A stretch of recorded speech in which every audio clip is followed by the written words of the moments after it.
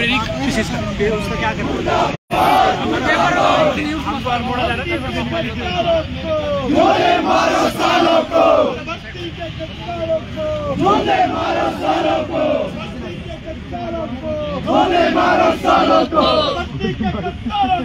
गोली मारो सालों को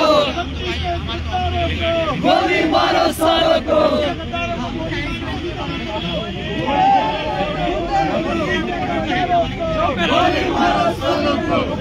बर्बाद किया ना भविष्य भाई साहब। कोई ये ये नहीं कि इन पे कोई इन पे तो गंभीर धारों पे मुकदमा दर्ज होना चाहिए और इनको जैसे जमानत जमानत मिल रही है ना क्योंकि एक भाई ना बॉबी भाई के लगा दो। संघर्ष। बॉबी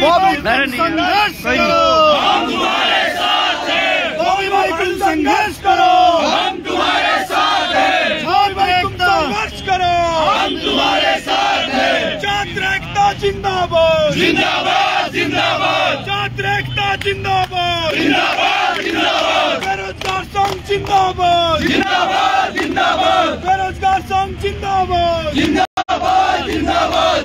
नकल माफिया मुर्दाबाद। मुर्दाबाद मुर्दाबाद नकल माफिया मुर्दाबाद मुर्दाबाद मुर्दाबाद नकल माफिया नहीं सहेंगे नहीं सहेंगे नहीं सहेंगे नकल माफिया नहीं सहेंगे नहीं सहेंगे नहीं सहेंगे भ्रष्टाचार नहीं सहेंगे नहीं सहेंगे नहीं सहेंगे भ्रष्टाचार नहीं सहेंगे नहीं सहेंगे नहीं सहेंगे तानाशाही नहीं सहेंगे नहीं सहेंगे नहीं सहेंगे तानाशाही नहीं सहेंगे नहीं सहेंगे नहीं सहेंगे सरकार होश में आओ होश में आओ होश में आओ दामी सरकार होश में आओ होश में आओ होश में आओ जो नहीं है साथ में चूड़ी पहनो हाथ में जो नहीं है साथ में राज्य छोड़ो हाथ में जो नहीं है साथ में राज्य छोड़ो साथ में दामी सरकार मुर्दाबाद मुर्दाबाद मुर्दाबाद दामी सरकार मुर्दाबाद मुर्दाबाद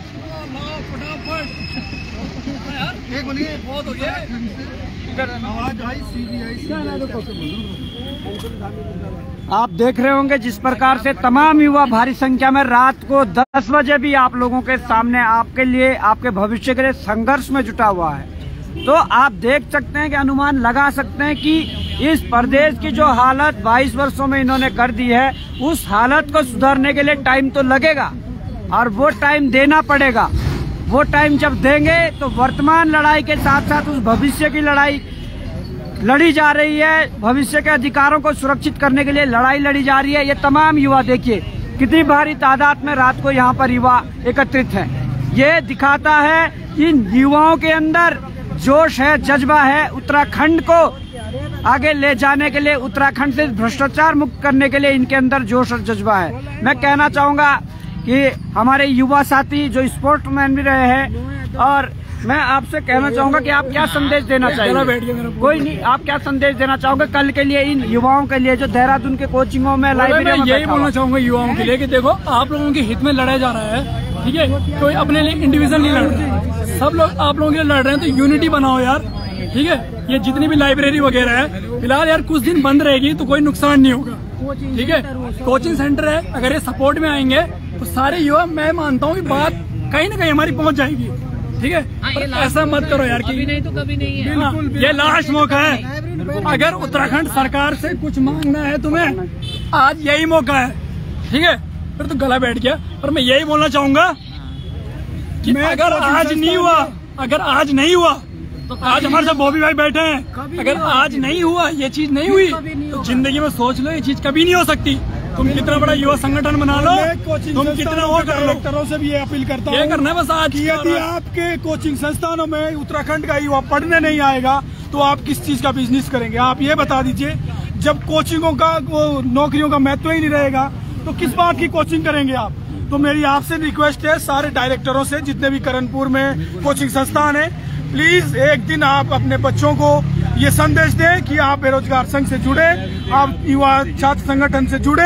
इस खुद भी आए और खुद भी आए साथ में खुद भी आए। क्योंकि ये जो लड़ाई है ये मात्र भर्ती पर की नहीं है। ये पूरे नए उत्तराखंड के एक नए देश भविष्य की है। एक नया उत्तराखंड बनाने की है। या बाईस साल में जो हमें उत्तराखंड दिया है वो भ्रष्टाचारी है। वो नकल माफियाओं का है। ये भ्रष्ट अधिकारियों का है। आप ये अनुमान लगा सकते हैं कि जब राज्य की सर्वोच्च परीक्षाओं में धांधली हो रही है तो किस प्रकार का या किस स्तर का भ्रष्टाचार है? तो मैं सभी युवाओं को, सभी अभिभावकों को यही संदेश देना चाहता हूँ कि जिस प्रकार हम रात के 10 बजे तक गांधी पार्क में हैं प्लीज़ आप रात को, हम रात नहीं मांग रहे आपसे, हम कल सुबह 10 बजे आप परेड ग्राउंड में आए, हमारे साथ जुड़े और एक बड़ी संख्या में मुख्य धामी सरकार का जो आवास है उसको कुचलें उस सरकार को कुचलें जो जो हमने भेजी है वो जो आज बलबूते में चार फुट के गद्दे में सो रहा है ना वो हमारी देन है। वो धामी सरकार मैं साफ़ साफ़ संदेश ये जो आक्रोश हुआ है कल के दिन ये आपके गले भी कोट सकता है गोली भी मार सकता है उसके जिम्मेदार खुद सरकार होगी। मैं साफ़ साफ़ बता देता हूँ क्योंकि बहुत चेक कर लिया बहुत चेक कर लिया युवाओं ने। ठीक है? हमने